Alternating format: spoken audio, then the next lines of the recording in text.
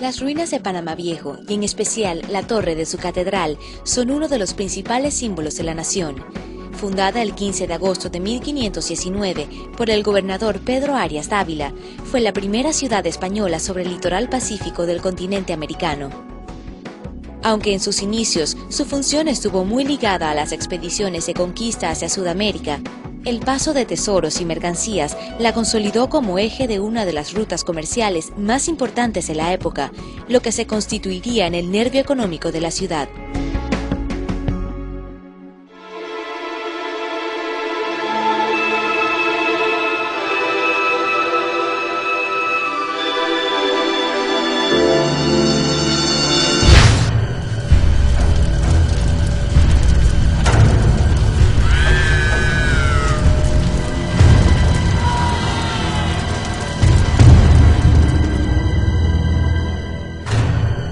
En 1671, 152 años después de su fundación, la ciudad fue destruida a consecuencia del ataque del pirata inglés Henry Morgan y nunca se reconstruyó.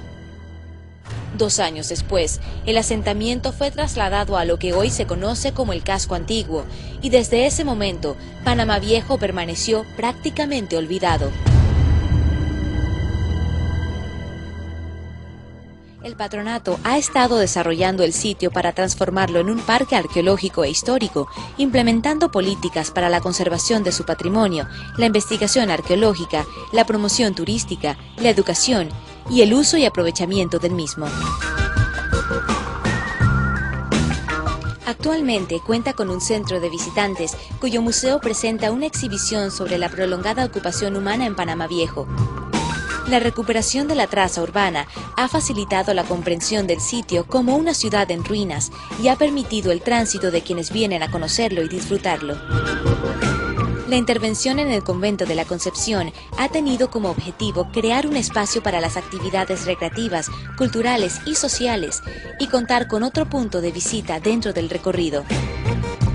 Y finalmente la conservación de la torre de la catedral, un símbolo en el imaginario de los panameños, y su transformación en un mirador ha permitido crear un atractivo turístico de excelente calidad.